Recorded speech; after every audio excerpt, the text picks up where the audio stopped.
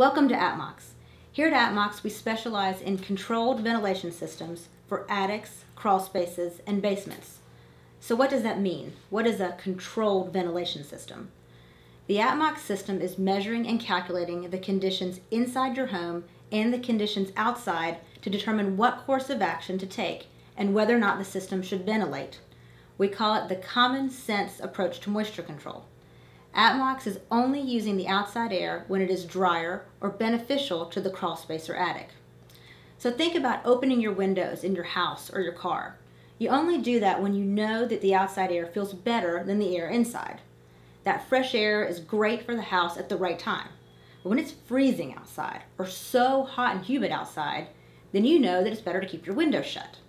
Atmox works in the same way by mathematically calculating what you already know intuitively without thinking about it. Only use outside air when it's beneficial.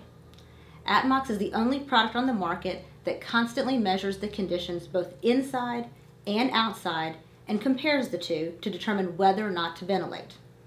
There's lots of great additional information on the website regarding our products and more information on moisture control. If you have any questions, please contact us by phone or email. We look forward to hearing from you. Thank you for visiting us at atmox.com.